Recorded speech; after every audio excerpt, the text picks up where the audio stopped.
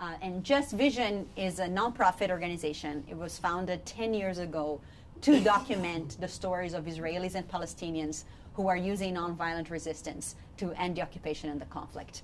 Um, and so I've been with them uh, pretty much since its inception.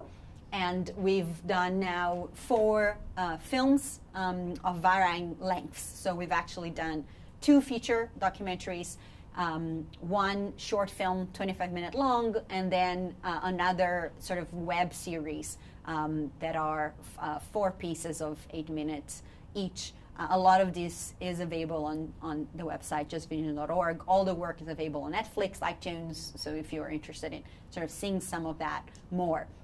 But what's unique about Just Vision um, is that you know we are a team of 12 people. I was sharing with Marcia, and among the 12 people, even though the main project we produce are films, I'm actually the only filmmaker in the team. Um, and the rest of, of the staff are outreach and engagement staff.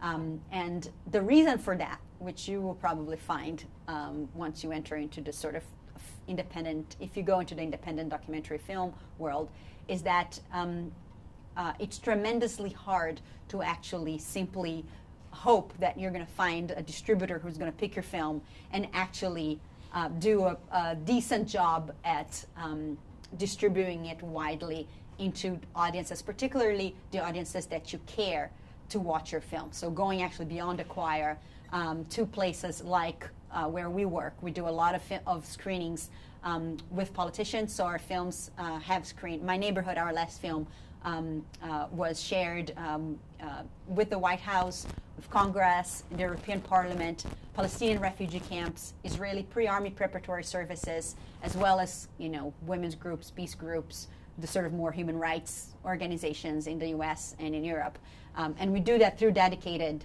um, staff uh, in the United States, in Israel, and in Palestine. And the goal of, of all of the work is to actually create more awareness and support for individuals who are using nonviolent strategies um, to achieve eventually peace um, in the region.